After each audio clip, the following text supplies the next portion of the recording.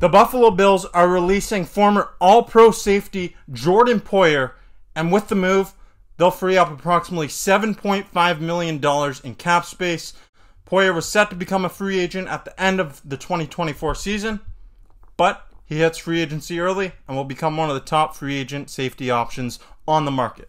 Welcome back to the Bills Bunker. I'm Jake Varco, and this is a bit of a surprise. I mean, we knew that the Bills were going to have to save some money Jordan Poyer being released, these are the kind of tough decisions that this team is going to have to make. One of those cornerstone pieces of this team for the last seven years since being acquired by Brandon Beane, captain of the team, a leader on this defense, no longer.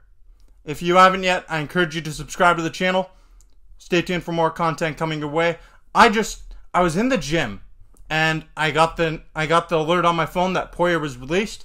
I raced home, stopped my workout, because I'm that dedicated to bringing you content. If that's not worth a subscription, I don't know what is. Wow. Jordan Poyer has officially been released by the Buffalo Bills, and this comes ahead of the 2024 free agency period opening on March 13th. And we all know that Micah Hyde likely not returning to the Buffalo Bills. Now Jordan Poyer not returning to the Buffalo Bills. This safety tandem has been one of the best in the National Football League over the last seven years in Buffalo. And now the Bills have some massive holes to fill on that defense, especially in that secondary.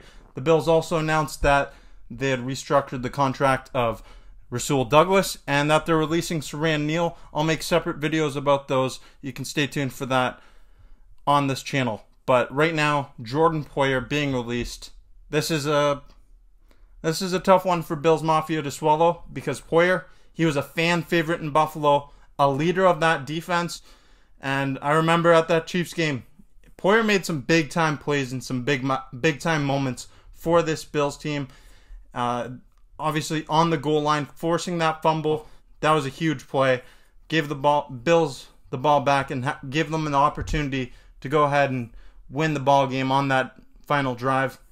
Didn't end the way they wanted it to, but Jordan Poyer, that's a tough way for him to end his Bills career.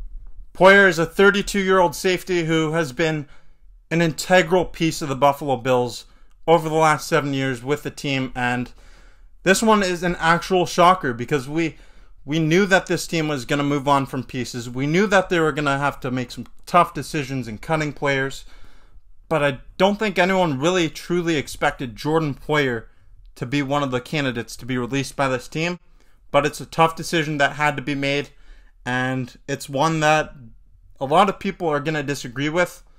But at 32 years old, with one year left on his contract, the Bills, they're looking at an infusion of youth through the draft and through free agency. It's a decision that had to be made, clearing $7.5 million in cap space, and this allows them to make some moves in free agency through the draft and potentially make some more trades. Poyer blessed Bills Mafia with so many great memories and being a leader of the team for quite some time. I mean, he, he was truly a fan favorite here in Buffalo, and his time in Buffalo, it's not going to be forgotten anytime soon. He's always welcome back to Buffalo, and I'm sure wherever he goes, his first game back at Highmark Stadium, this guy, he's going to get an ovation. Bills Mafia loves Jordan Poyer, and it's tough to see him go. But that's that's this industry. That it's a cutthroat industry. This is the type of decision that needs to be made in order for this Bills team to add that infusion of youth and to get stronger for years to come. In order to keep the Bills Super Bowl window open with Josh Allen at quarterback, you need to cut some of the older guys and do what the Kansas City Chiefs are doing. Build through the draft. That way you have a longer period of time to have that Super Bowl window open. It's just tough. It's tough to see Poyer go. Your captain on that defense, a true leader of this team. His time in Buffalo is officially over. But I want to know in the comment section down below how are you feeling about this? I know there's going to be plenty of emotional Bills fans seeing this today. Let me know your thoughts in the comments section below. If you haven't yet, I encourage you to subscribe to the channel. Stay tuned for more content coming your way. And like I said, I have some other videos coming about coming out about Siran Neal and Rasul Douglas. Those will be released rather quickly. lots of stuff on my plate with this team right now. I'm to try my best to get this out in a timely manner. So stay tuned. Thank you for watching the Bills Bunker.